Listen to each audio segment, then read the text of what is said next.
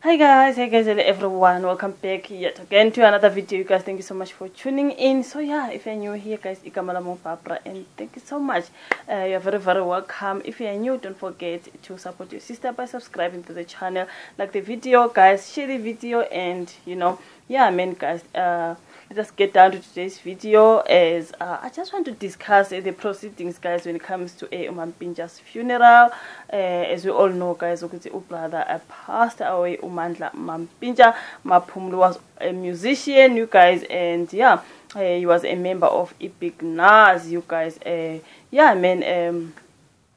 so we've been watching guys since izolo the memorial service and today it was his funeral so yeah menikazi eh, um besilokhu sibuka nje maningi ama-clips on social media eh, yeah i also watched it live something like that too guys and I, I did upload just those clips you know just to update people because guys i can't just upload ngithi ngoba abanye abantu dile. i will just have to, to you know to update abanye abantu maybe who just haven't seen it something like that so i uploaded those clips on my channel you can watch that video you guys so i just wanted to speak about exactly the way uh, izinto zihamba ngakhona sometimes just have to you know just to discuss it and talk about i'm so happy um uh, about izinto indlela engibona izinto zihamba ngakhona guys we know ukuthi um eh, umampintsha he was married to ubebs wodumo you guys and they were working together ah suka leyo nto they were working together so uh, yeah man um so yesterday bekuyi-moral service we saw her man being a strong girl she was really she looked very strong as people were saying ukuthi ha ah, ubukeka ngathi strong manje maybe later um you know realities is going to like kick in something like that but yeah she looked she looked quite strong the, i didn't expect that maybe that's why thina sithi she looked strong because besingaexpectile ukuthi sizombona aqine the way simbone ngakhona and yeah she was really like if they're playing the big na song she will be dancing you know singing along into enjalo kubonisa guys ukuthi ubungaza like impilo yomyeni wakhe or that even though people are just having a lot to say about her behavior yesterday kwi-memorial service seeing her the dancing makoti she's dancing like that instead of her being so like sitting down crying like you know yeah men guys bayasho abantu ukuthi as people we grieve um ngendlela ehlukile so i can't judge her for that you guys um bekuyi-memorial service izolo yeah she was man i really loved what i saw angeke impela ngithi kukhona into engiyisolayo when it comes to i-memorial service ezolo i just thought ukuthi you know like vele like when someone passes if that person was a singer kumele kuculwe if that person was a dancer we should dance. if that person was uh, you know kusiya nje ngokuthi loyo muntu bekasenzani empilweni yakhe guys so umampintsha he was a singer he was a musician was a performer he was so that's what was happening yesterday and his wife was also doing that i think a lot of people were surprised because they were expecting the, the widow to be sitting there like mourning and but yena you know, she preferred to just you know Uh, mourn ngendlela yakhe naye as we said you guys ukuthi vele eh, we mourn in different worlds i do agree you guys so today kena uh, guys it was uh, the, the um, the funeral service as i did eh, ngishile ukuthi i did upload lawo maclips lawo so i can just throw it in just in case you didn't see that video the a clip where um, the coffin was uh, coming in but uh, is a debe uh, icc something like that if i'm not mistaken um eh, phela sithanda ukuqama manga yeah they said the debe icc so they were walking in and bebsodumo there walking abanye abantu bomndeni and you know family members and the fans and whatever you guys we saw when the coffin uh, came through i'm just going to maybe like uh, ngiphosele leyo clip some way so that you can understand exactly ukuthi eh, what am i talking about like it was in the beginning of, of the funeral service i guess we saw them walking in with ubrother umampintsha ayilalele inkosi yami um we can just go and watch that clip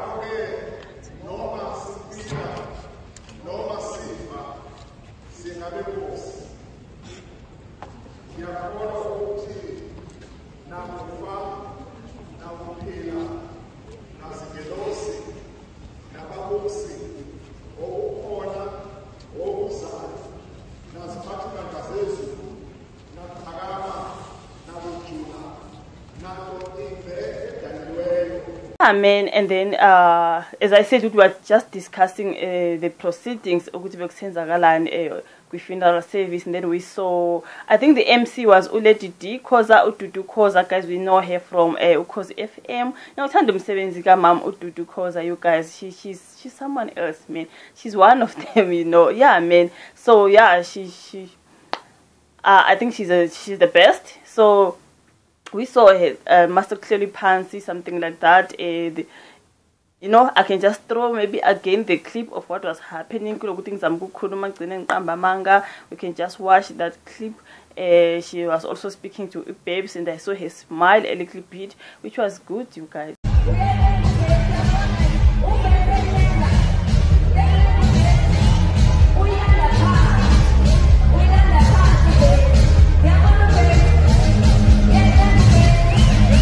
was a time when uh, there's a video that was played against when it comes to immemorial service where like bayakhuluma ngokuthi lo muntu ubani ubesenzani empilweni and all that because there's a time where like she, she really cried as a lot of people were just saying ukuthi wow guys bepsodima is so strong even me i'm one of those people she's strong yes guys she was strong but i think leyo moment leyo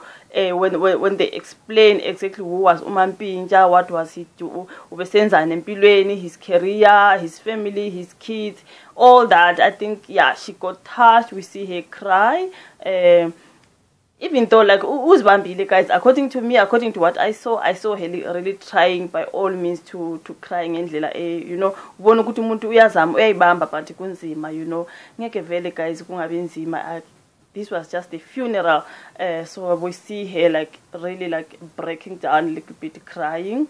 which is, which is sad, hey. ngokukhethekile ngana amehlo akho njengangibambe eshiqini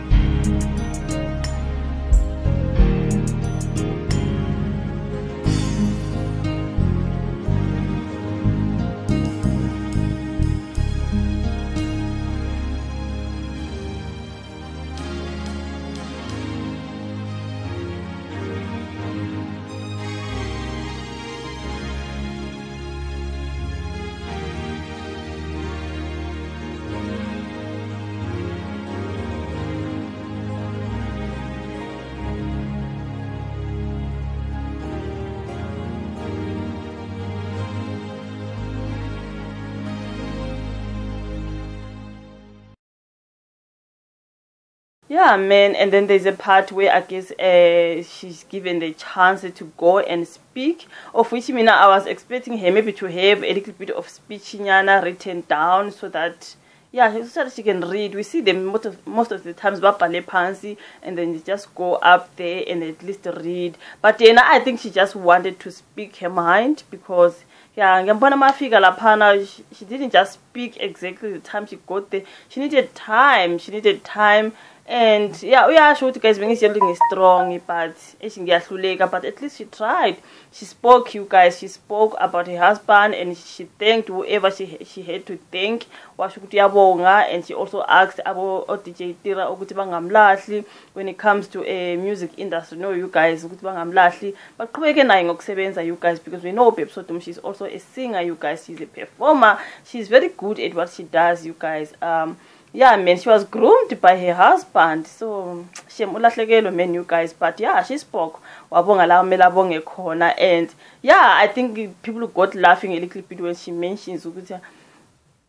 at least uh, she first mentioned ukuthi at least he says he loves me you know before he can go which is really cute you guys but then she speaks about about the phone issue she mentions ukuthi hey amadoda now you guys you know men shit you guys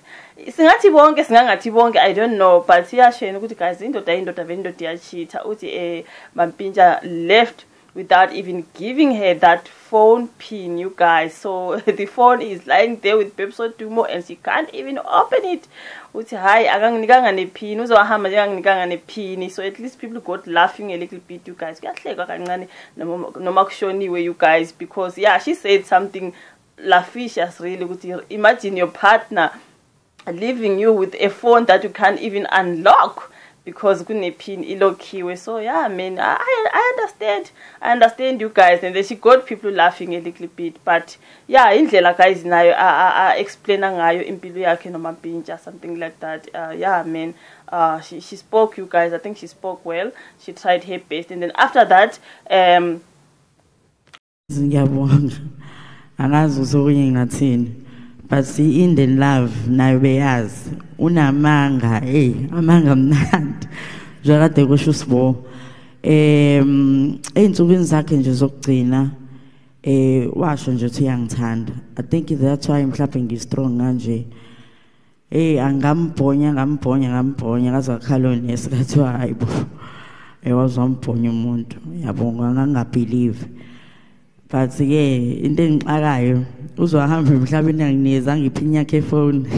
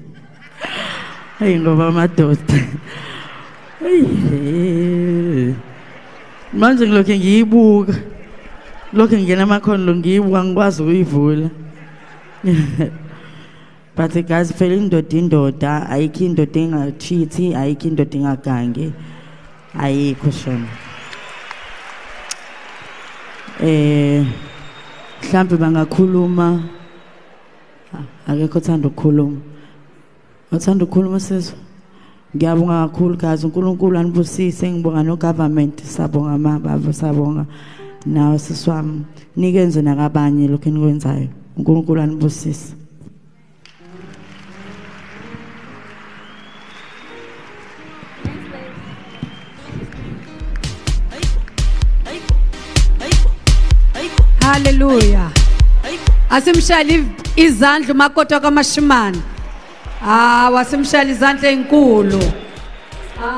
Yeah, man. And then there's a part where I guess uh, she's given the chance to go and speak, of which Mina, I was expecting her maybe to have a little bit of speech written down so that ya yeah, so that she can read we see them most of, most of the times babhale phansi and then you just go up there and at least read but yena i think she just wanted to speak her mind because ya yeah, ngiyambona uma afika laphana she didn't just speak exactly the time she got there she needed time she needed time and ya yeah, uyasho ukuthi guys bengiziyelinge strong but eshi ngiyahluleka but at least she tried she spoke you guys she spoke about her husband and she thanked whoever she, she had to thank washo ukuthi uyabonga and she also asked abo odj tira ukuthi bangamlahli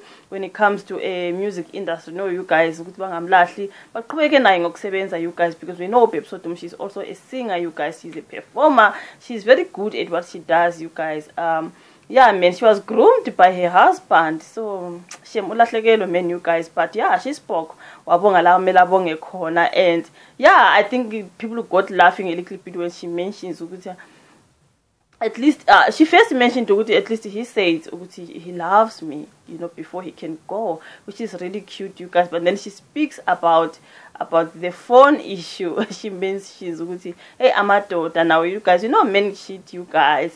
singathi bonke singangathi bonke i don't know but iyashena ukuthi guys indoda indoda vendoda iyachitha uthi um mampintsha left without even giving her that phone pin, you guys. So the phone is lying there with two Dumo and she can't even open it. uthi hayi akanginikanga nephini uzohamba nje anginikanga pin. so at least people got laughing a little bit you guys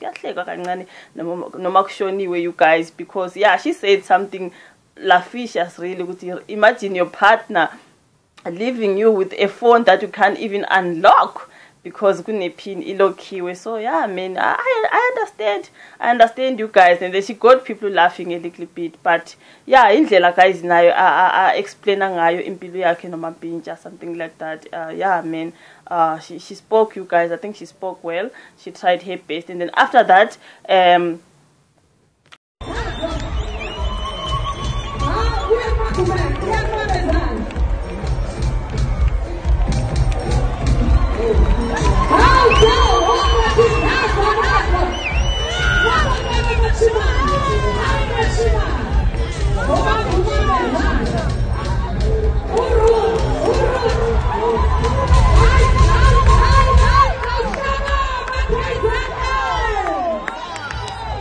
sorry and then uh, let us just uh, talk about the fact that esuka lapho we saw her going straight. this part i really really loved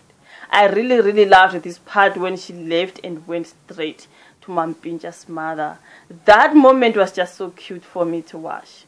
remember guys we've been talking about the drama between pepsodumo and her mother in law and all, during her speech she mentioned ukuthi ngiyamxolela umama umama umagumete which is mampintsha's mother you guys um,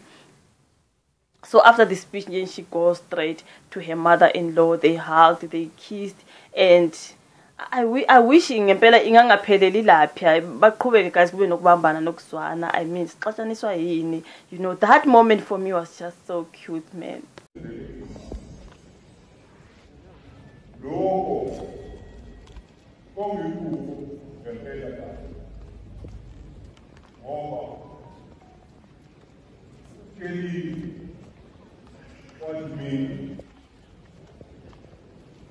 uyazicabangela uyacabangela futhi nengane yakhe usponge inkosi yami you guys imagine his father is no more no longer here so he needs his granny you know he needs his granny so ukwenza ipeace nogogo ingane for me it's just, it's just it's a good thing it's a good move we saw that clip where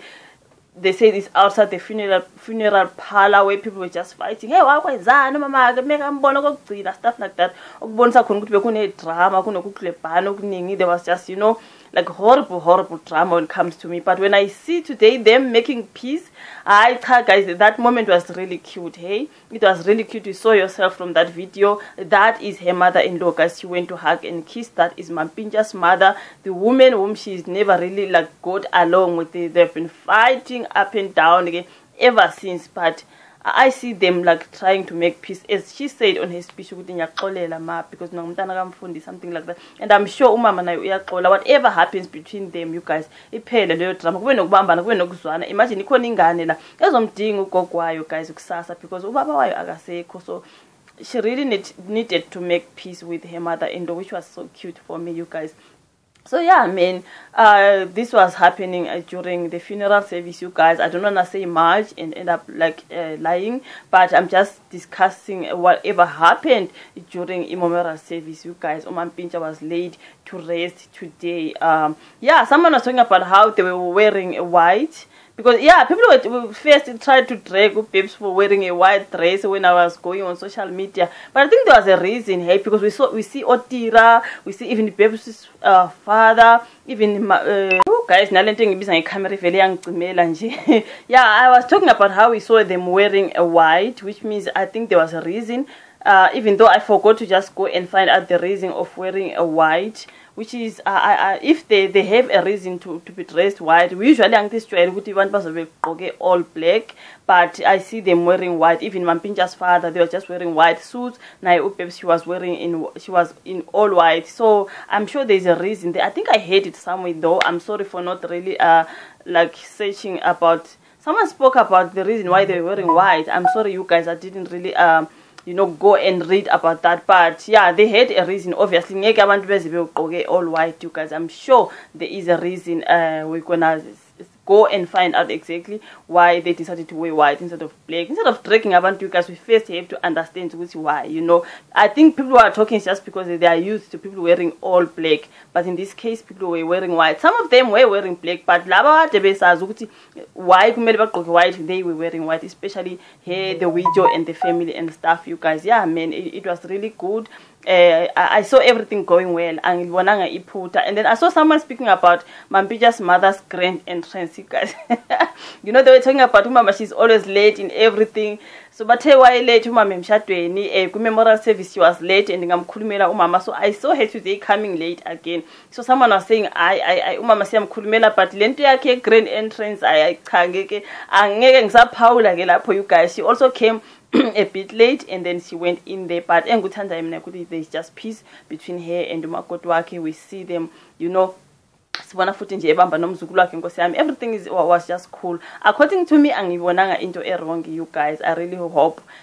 uh, oh brother can just rest in peace you guys i just wanted to come with an update when it comes to uh eh, oh, ubud umampintsha oh, because we've been reporting you know guys ever since he passed and then we've been reporting reporting so update ke when it comes to the funeral service of which he was late to rest namhlanje bafethu yeah man do comment down below you guys uh, then your thoughts and your opinions as you watch the clips and everything and then like the video before you go subscribe if you haven't subscribed for your sister you guys i'll meet you again um,